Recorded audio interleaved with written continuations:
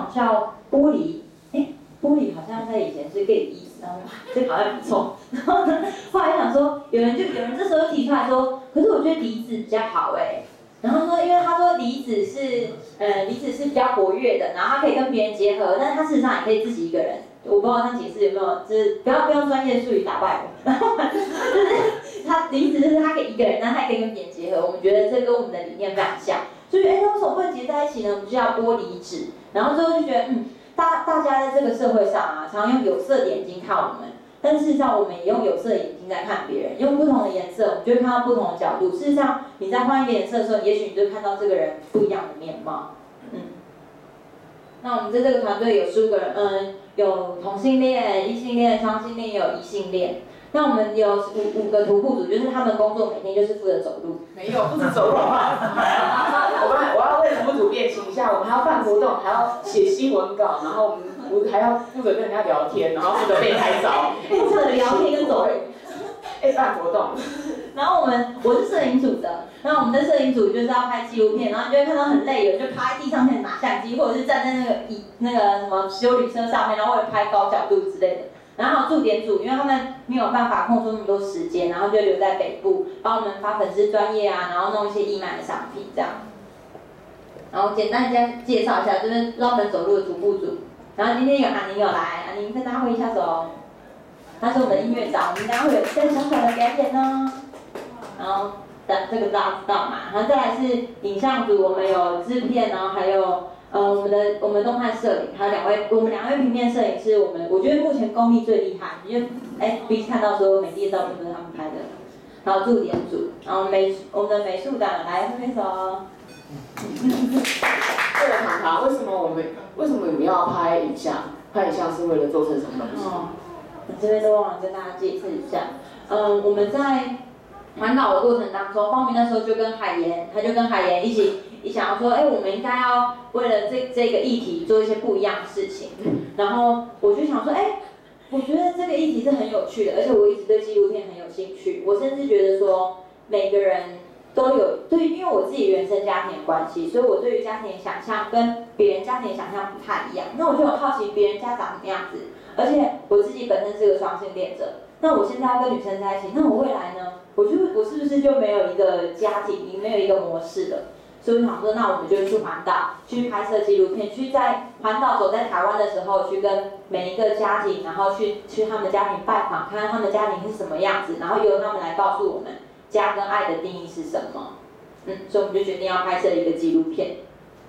你就往下，那你们觉得爱是什么？大家觉得爱是什么？也可以跟我们分享一下。然后不好意思举手啊，太 Q 了，后面后面爱是包容，爱是什么？大家觉得那不环岛的人觉得呢？刚刚迟到的都讲一下。对啊，很难啊，爱是什么？爱是什么？学长学长学长。有一首叫做《爱的歌》吗？还是？爱是怀疑。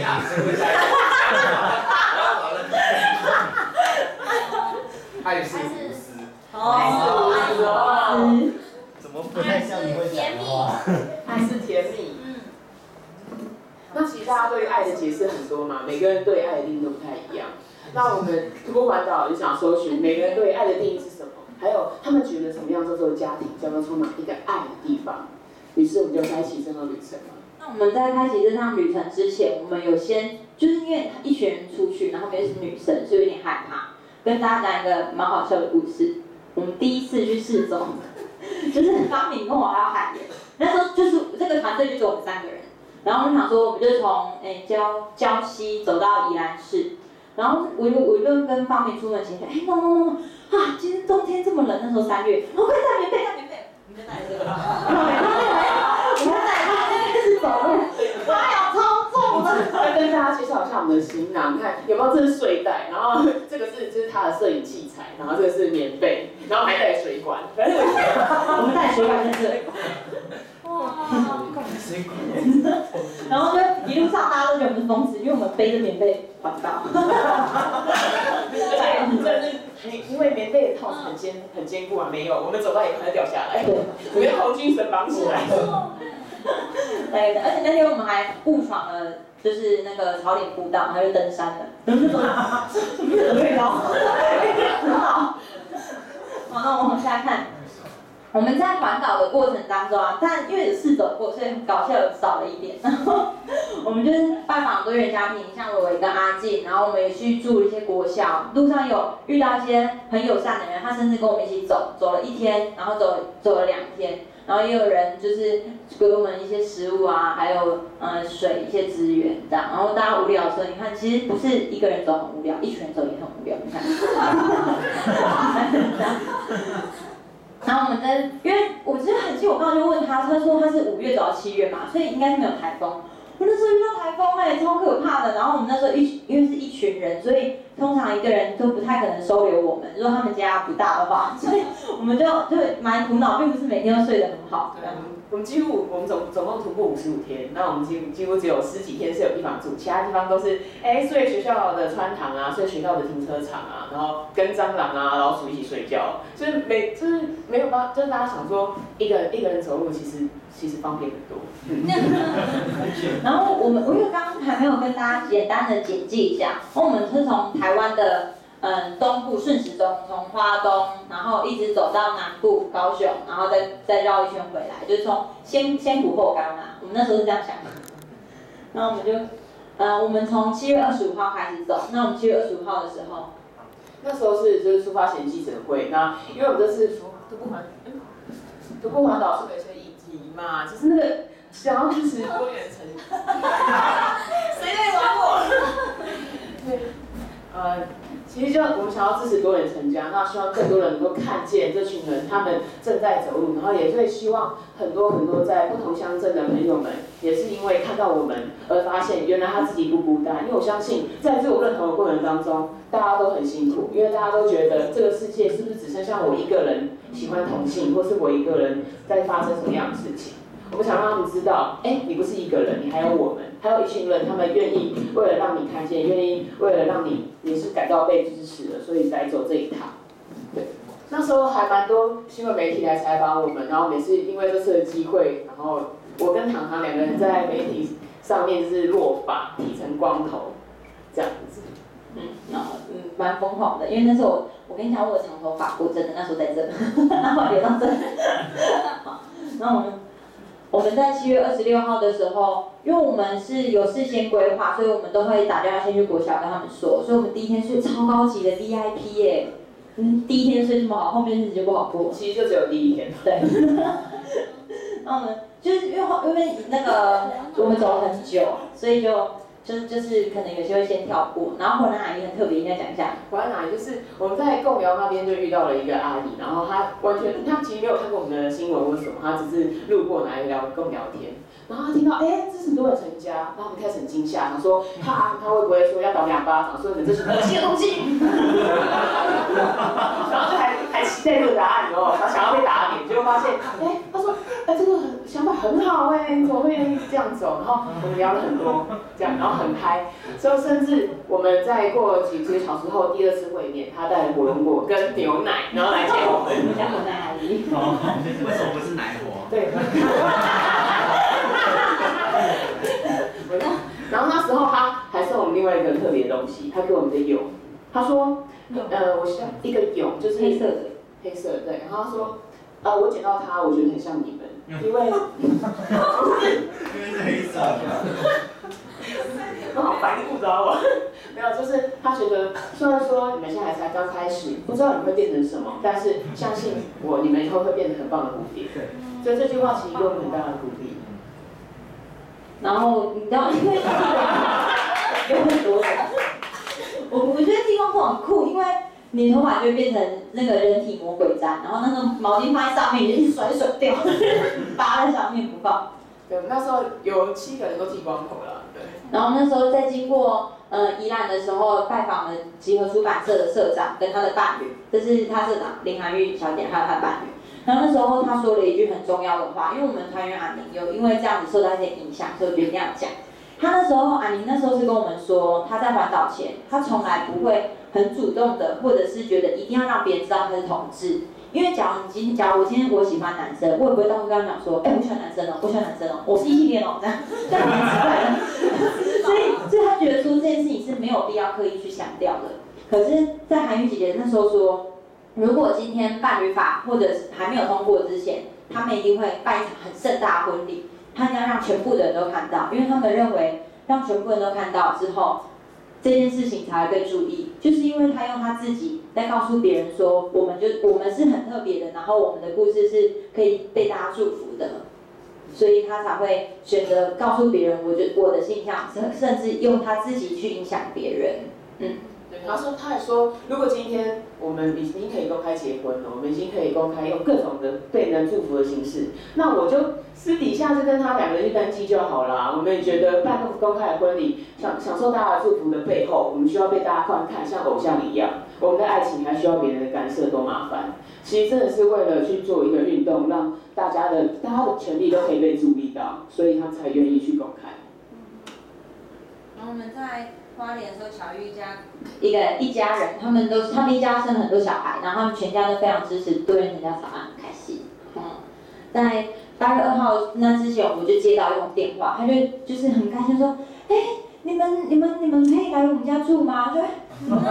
在上了记者会，就就有上新闻。然后那阿姨就说，哎，拜托我们去我们家住。然后殊不知他们家这么高级，非常高级的民宿。然后那阿姨就觉得说，因为她其实对这议题涉猎不多，但是她觉得我们是一群女生，愿意这样子徒步环岛，真的很勇敢。所以她就跟着我们，就是到我们这边住，很我们还很厚脸皮跟她要两天晚上。因为那时候我们就是在花莲，就觉得说，因为花莲是一个比较少接受这些资讯的乡镇，所以我们就花了一些时间在那边办一个街头的街讲活动。对，然后我。就就是到跟大家讲说，对，想要草案是在做什么？那大家希望他们能够注意到，就是关于特比较要少数族群人的权益这样。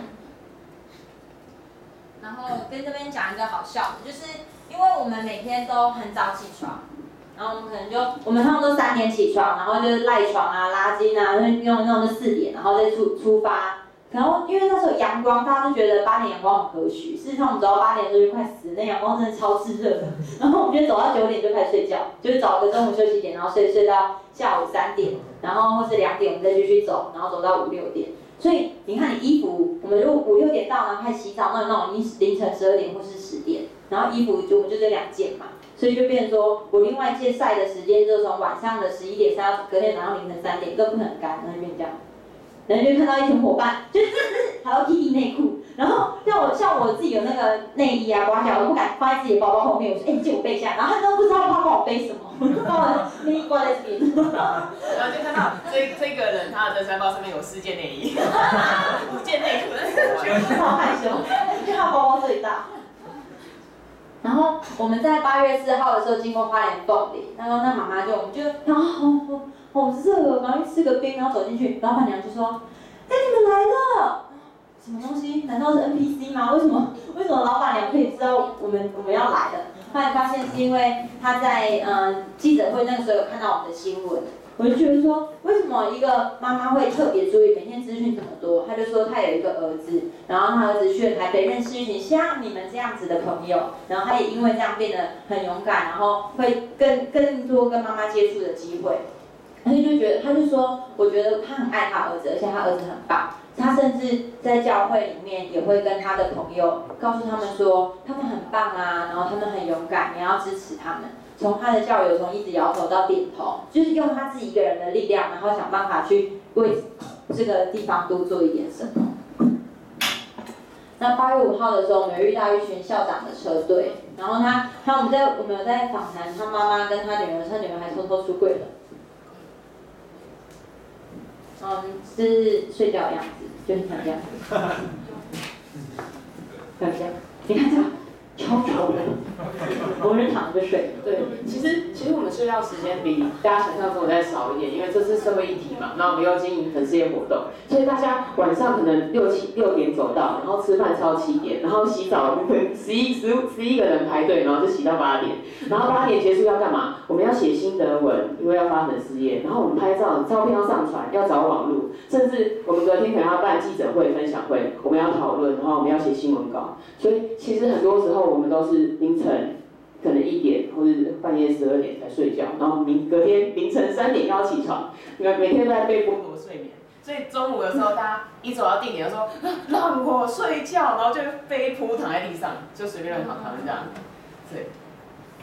然后我们有遇到也是一个人徒步环岛，然后他就自己背着吉他，然后一个人徒步环岛。他说他是为了他的宗教，因为他是读神学院的，然后他觉得他要为基督徒做一点事情，然后就开始环岛，然后他也觉得他可以给别人友好的感觉，所以当他第一第一就是跟别人讲说哦我是基督徒，他觉得他也可以带给别人就是给基督徒一个很好的印象。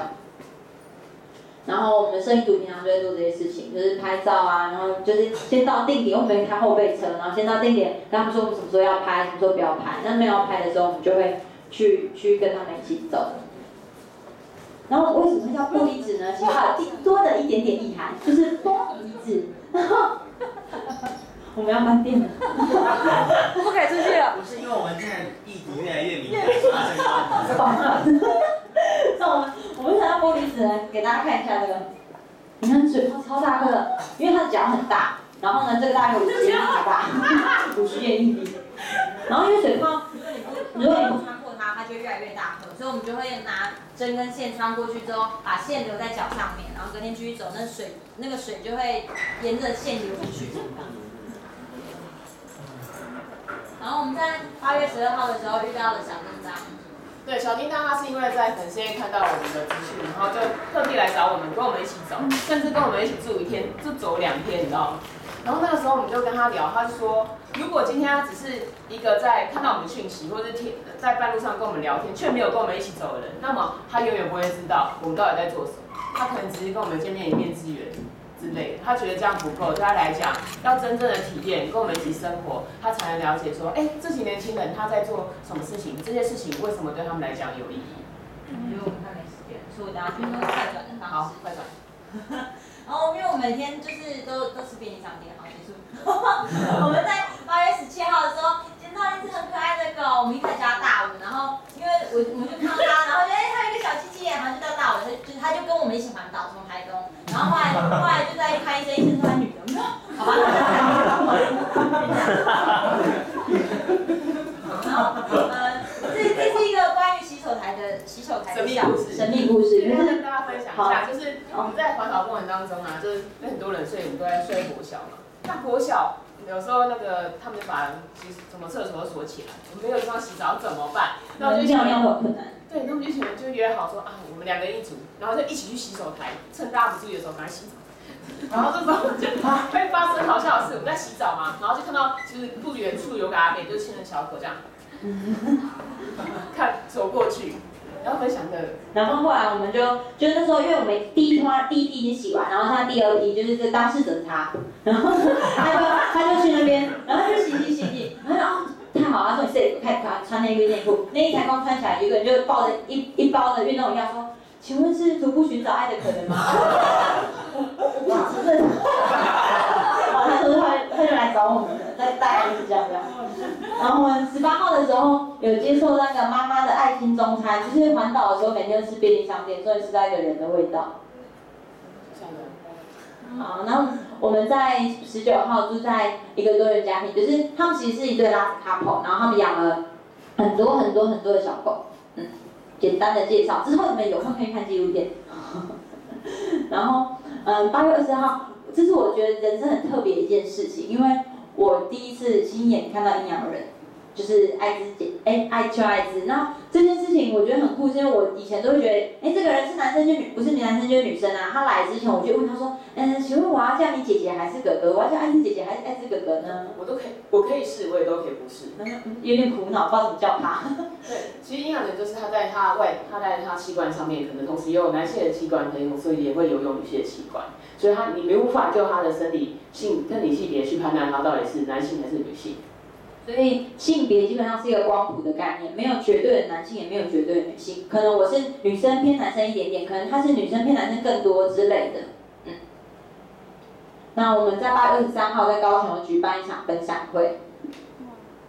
然后，嗯，这个时候我们经过台南了，然后我们就遇到了翻翻滚吧蛋卷的小凡跟穆德，我们有去就是拜访他们。我觉得小凡很厉害，因为他跟穆德虽然都是拉子，可是小凡很努力的，就是帮自己生了让让自己怀孕生了一个小孩。嗯，但这不是他们啦，因为我我们照片没有没有放上来。然后，呃，八月二十六号那时候我们就走走走走。对，那时候遇到个奇妙人，然后骑了彩虹挡车，突然间刹车停在我面前，想说哦是要打我们是不是？就他拿了一袋就是很重的一个饮料，然后就拿给我们，然后说哦支持你们，就是一个很 man 的一男这样，我支持你们，你要加油。结果后来啊，他还 po 呃 po 文在他们的那个 FB 社团里南面，部南部打车协会，对，然后过了十天，一票十几个男生，然后骑了十几台单车，停在国小门口。对，然后就引起主任的关注。对，主任就出来说，哎，我帮你们开一间房间，开一间教室，教房间。啊，二二十八、二十九号就遇到台风，那时候就是我们那时候在嘉义，然后我们就是嗯，因为想说台风天，可是感觉风雨也还好啊，那时候填土台风，然后我们想说好，不管今天就是要出门，我们就因为那时候是在那个多元家庭里面借宿，所以我们我们就由后备车载到我们前一天的定点，我们就在那个地方，然后可是想要后备车想要看那个地方的时候，八档期就爆满了，我们就走到这，哎，也没有，哎。这边封锁线也拉起来，然后他说啊，那回去原本的地方好了，回去回去啊，靠腰也被封起来。原本来那条路差一点淹过去，啊，快杀过去，超可怕的。所以那天就就有有还是有走，然后我们走到另外一个住宿比较近的住宿点。那，对，雨天就这样子前进。对，刚刚刚好像有人说看到我们，所以如果是这个样子的话，你应该是我没错。然后我们在八月三十号的时候有一一群。就是也，因为那天是台风天，然后有一有一群大学生，南华南华大学，他说他们学校被淹起来了，然后就是什么，就是淹到巷口淹到那么高，然后说我为了找你们，我们就很努力的把土挖开，然后从学校走出来，然后骑车去找你们，我觉得太伟大了，就是他们加一个勇士。好，然后我们在九月一号就是很累的时候，你就看到大兵这样，就是我先讲徒步组的，哎，你你先讲徒步组，徒步组就是因为刚。生活作息真的睡得很少啦，所以他那天就是走了大概下午走到四点的时候，他说还有六 K，我受不了了，他就睡在加油站的厕所外面，就躺在地上睡着了。对，然后影像组的就每天都，因为我们要过片，所以我每天拍完之后拍多久就要看多久，然后晚上看看看到抓狂，然后就开始踢笑，然后就穿着棉袄跑来跑去。他那时候还拍很多时尚的照片。对，你可以去 B 看哦。九月三号，那时候就其实我真的不知道这件事情哎。啊，这要解徒步只要解释一下，就那天我们中午已经要休，已经很累，都要十一点、十二点，就太阳非常大。那前面要前面要坐很久才会有地方可以休息，所以我们想说啊，好吧，路上只有一个保龄球馆，就坐进去，然后给人家占了一个桌子，这样。然后因为我们原本都睡国小嘛，然后偶尔会睡在那些多元家庭那边。可是九月三号那时候居然开学了，我们打去国小。嗯，不好意思，我们现在不是很不方便，连中午都没地方去，怎么办？就这样，有人说，哎，怎么回事？那么多小朋友？之后我们就就是尽量能睡，之后我们还那时候还是睡在那个哎一个教会的外面。对，我们虽然就是其实那边有一点有一点微微的飘雨，所以我旁边都湿掉。的大家都，你看这这个是黑晒黑的样子，袜子，嗯。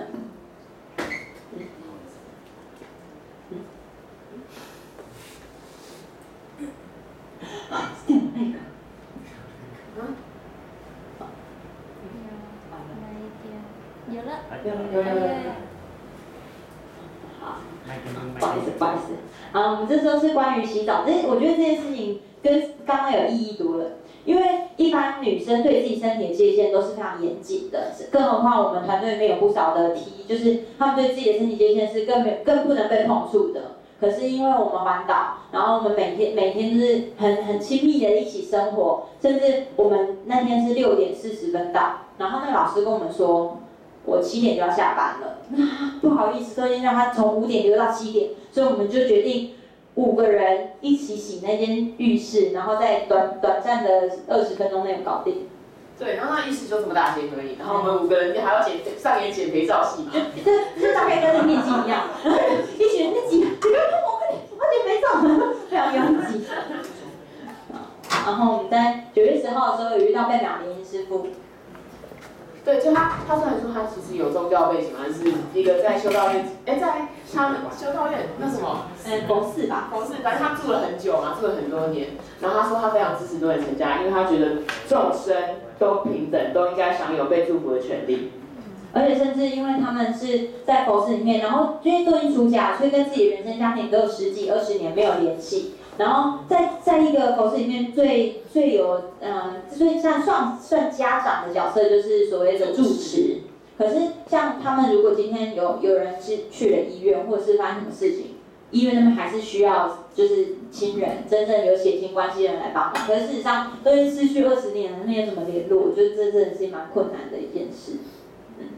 然后我们在九月十四号。终于走到了呃台北，所以我们就举办了一场游行。那个我们就是徒步组跟唱组员就穿礼服啊，然后穿西装，在台北绕了一圈。想要告诉大家说，我们今天走完了，然后我们要带着这个议题回来，让大家知道这件事情是有人需要的。我们把很多很多的故事收集起来。对，那大家可以看到中间有个台湾的板子嘛？那这其实我们从出发的时候就是带这个板子出发，然后想说一个点点，一个绿色的小点点就代表一个人的祝福，还有他支持多人成家。最后我们因为绕了一圈嘛，台南头就抱歉了，就绕了一圈。其实我们是整个贴满，其实真的很多人，不管他是不是同事，他都是支持，他都是支持多元成家。然后我们先给大家看一小段影片。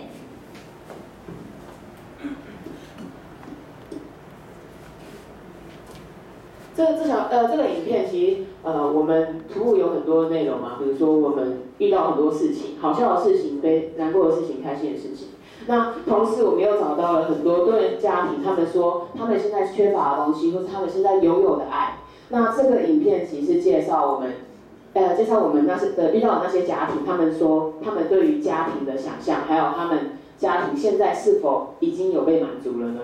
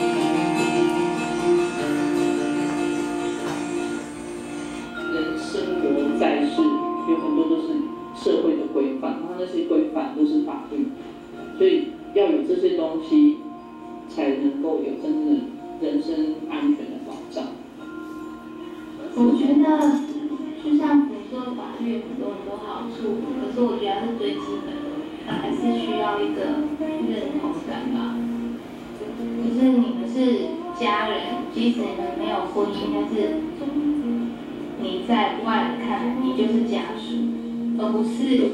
一般某某人，或者是人家还会路人甲一丙，或者是说人家会用说啊，以及到底哪哪什么的，然后呢就会找他前妻来，甚至扣他儿子来，搞不好人家也不愿意。那真正想帮他做决定的，他有没有权利？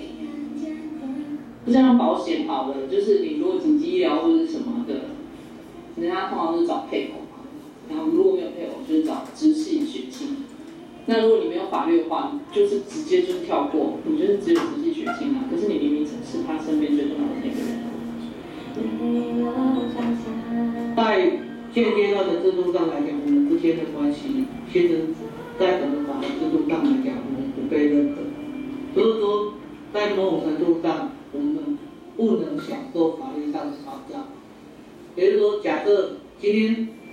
呃如果说他要去医院那需要急救或许我没有办法签署任何一个抗体像上一次去急诊室人家只会问你跟他什么关系什么关系。那我就跟他讲说我跟他同居的我也不能跟他做任何决定啊我们有很多同事结婚后生了小孩都发生过一起